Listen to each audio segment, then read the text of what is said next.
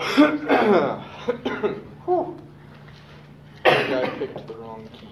Yeah, I registers.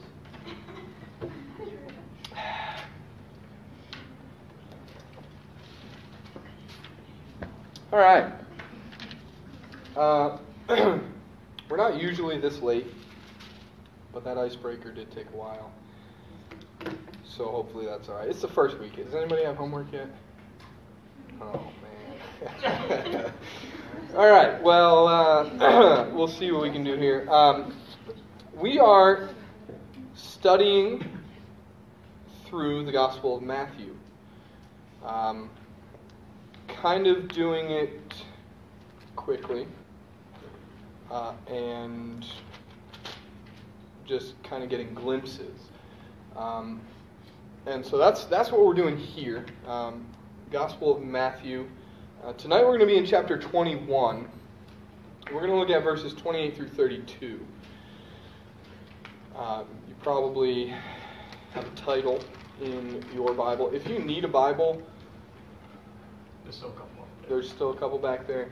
Um, and if by chance you don't own a Bible, would love to get you a Bible um, because it is very important for you to have uh, God's Word for for reading uh, and, as Second Timothy would say, uh, for teaching, for training um, in righteousness, reproof, rebuke, exhortation, all those sort of things. But um, just great to have. Um, also, the other thing that I wanted to mention um, towards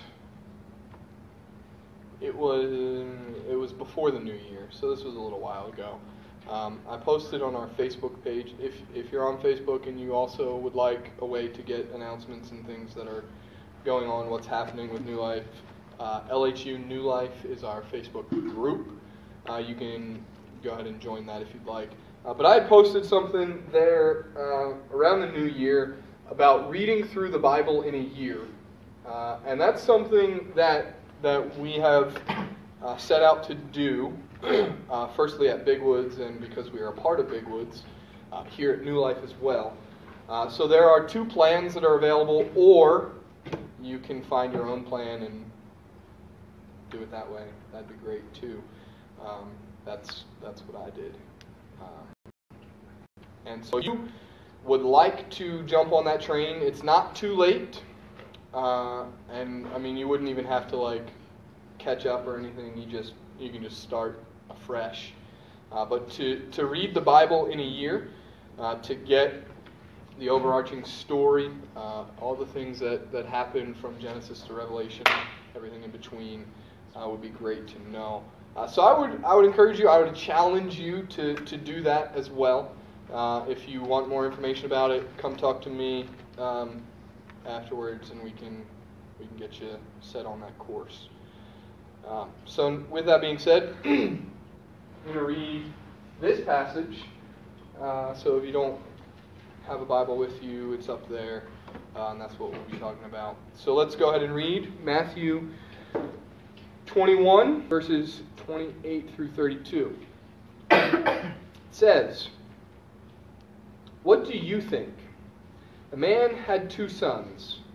And he went to the first and said, Son, go and work in the vineyard today. And he answered, I will not. But afterward he changed his mind and went. And he went to the other son and said the same. And he answered, I go, sir, but did not go. Which of the two did the will of his father? They said, The first.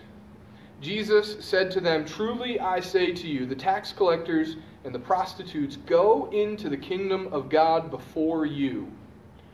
For John came to you in the way of righteousness, and you did not believe him, but the tax collectors and the prostitutes believed him. And even when you saw it, you did not afterward change your minds and believe him. Let me pray. God, thank you for your word.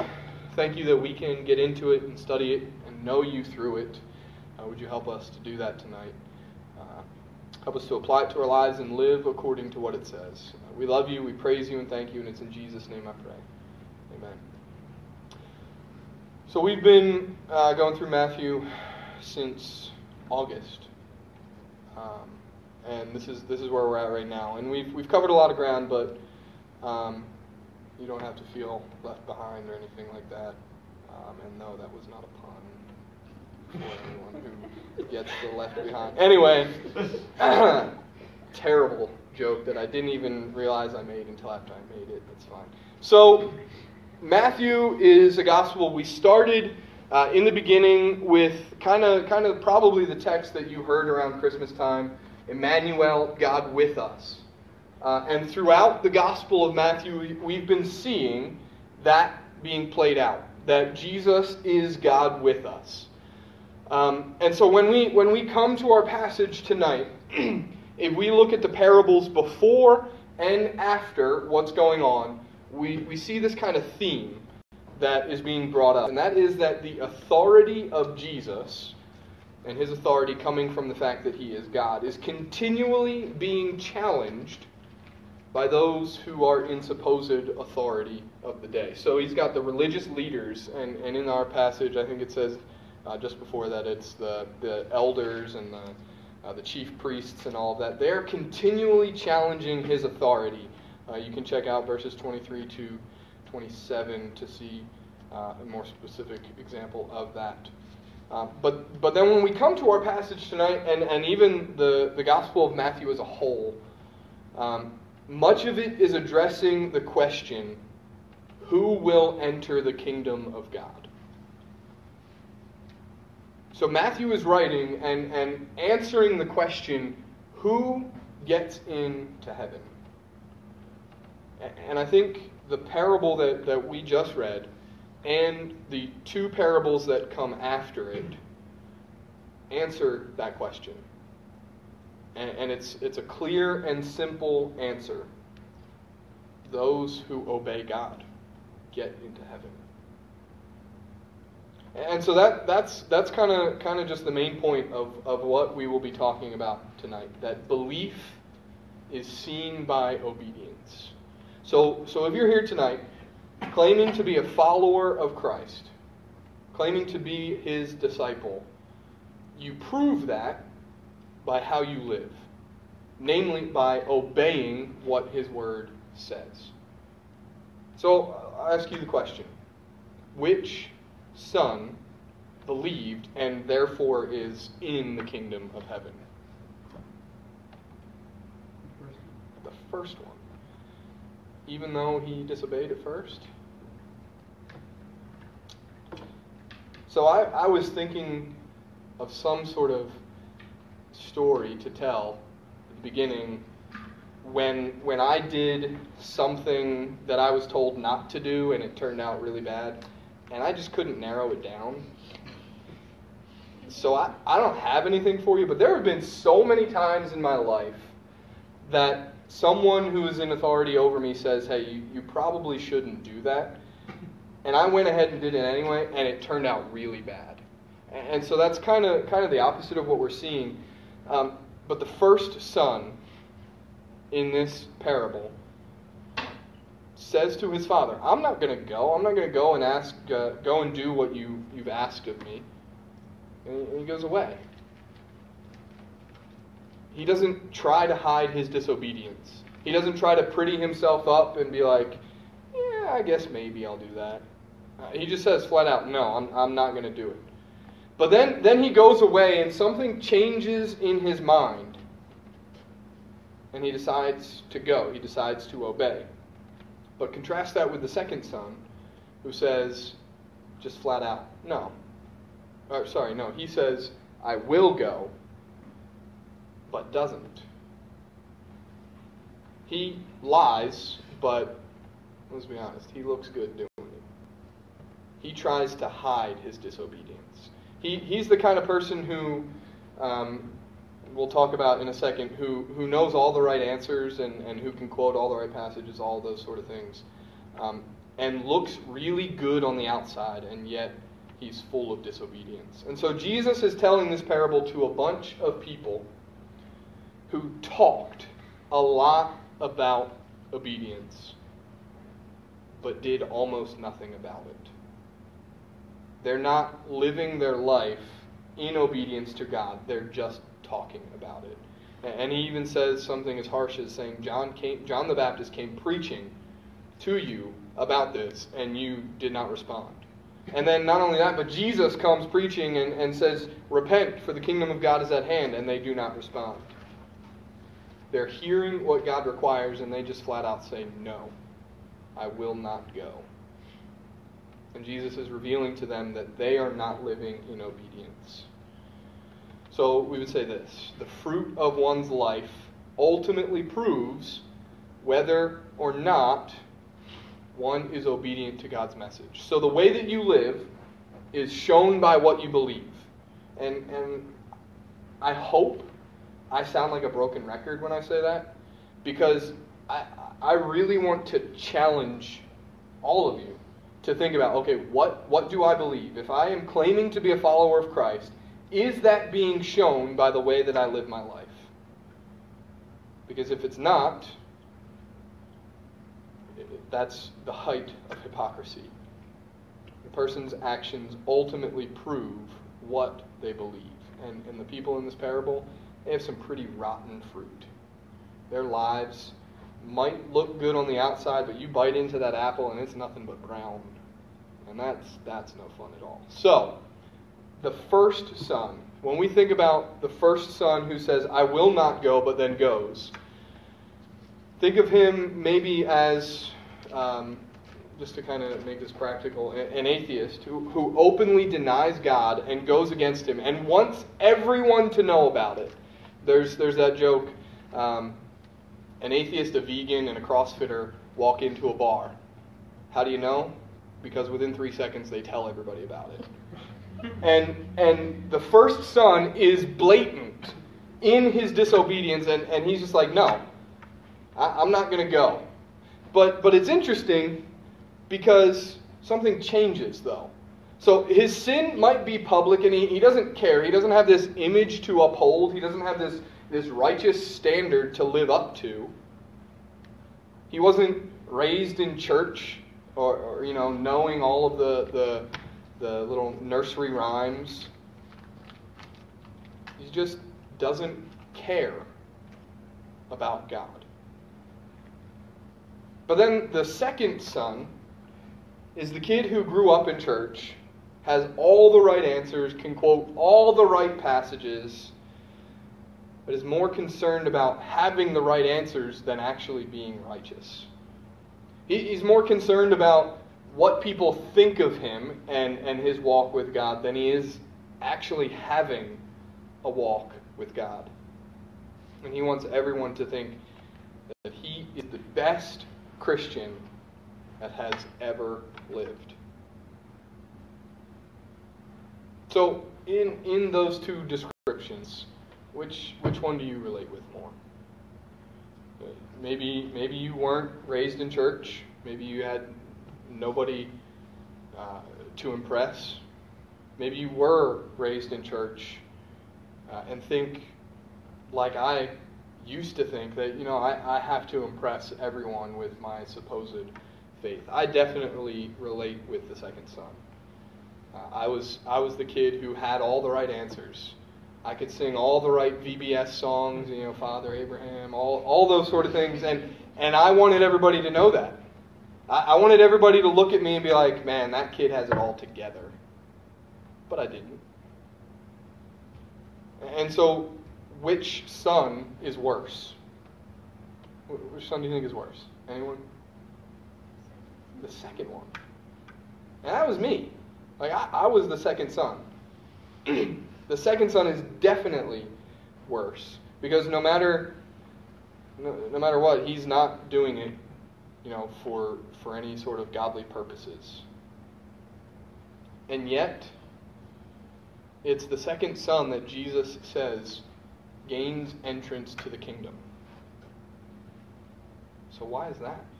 Like, like that doesn't make sense. It's because no matter how much he disobeyed, something in his mind changes. And he moves from disobedience to obedience. So I, I don't know I don't know where you are right now I, I don't know which which kind of son relation that you would put yourself under first or second. I don't know what you're struggling with. I, you're probably struggling with something. I don't know a lot about your past. But I do know that no matter what disobedience is back there, no matter what sin may be in your past that, that you're still struggling with, no matter what feelings of, of inadequacy, whatever it might be, you're not without hope.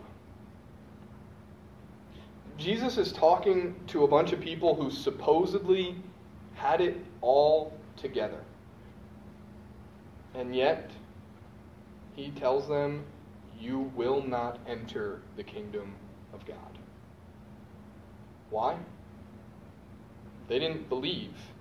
And they didn't change their minds about who Jesus was and choose to live in obedience to him.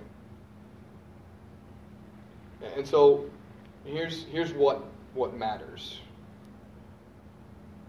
The, the Son changes his mind.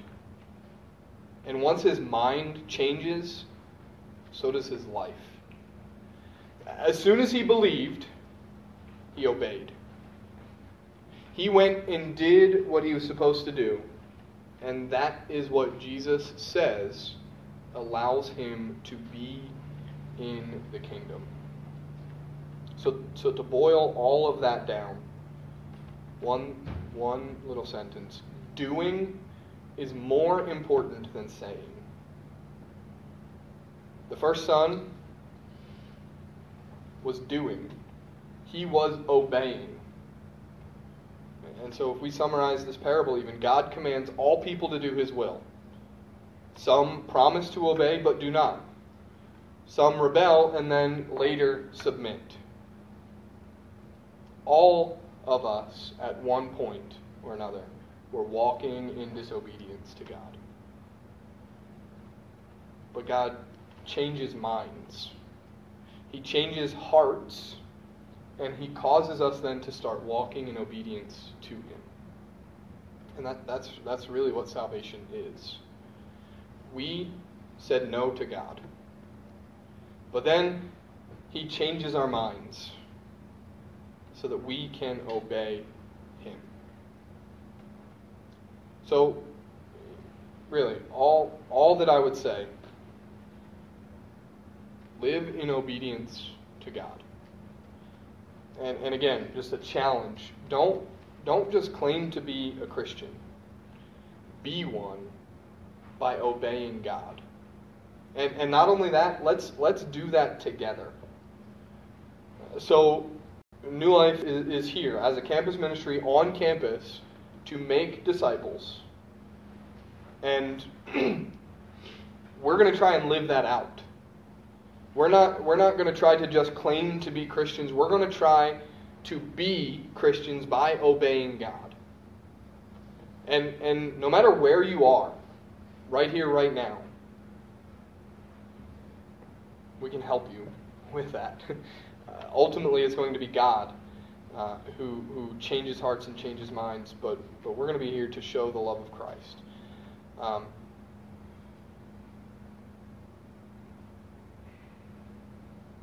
so when it comes down to it, I hope that, that you can find that here. Uh, and we are embarking on a new semester, um, starting some things fresh, um, starting some things new.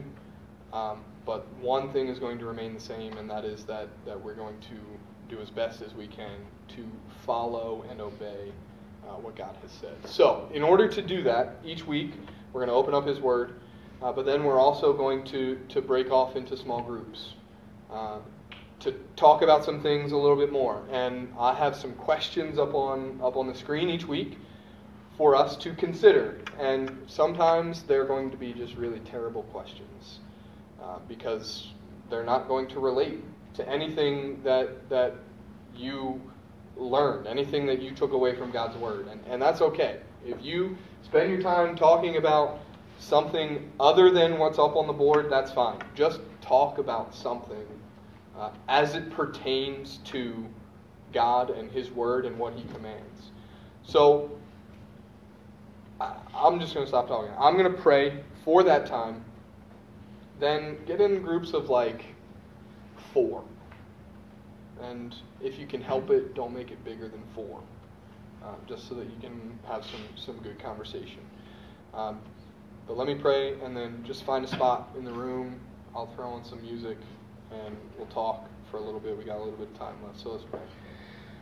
God, thank you uh, for this time. Thank you for your word. Uh, thank you that you change minds.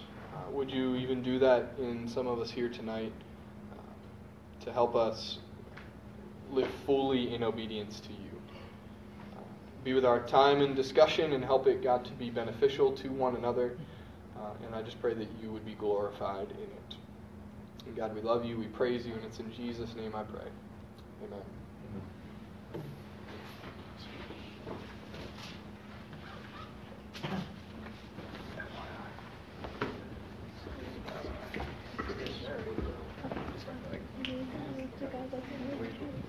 Some, some translations switch them. So, like who? No, it does not. Where?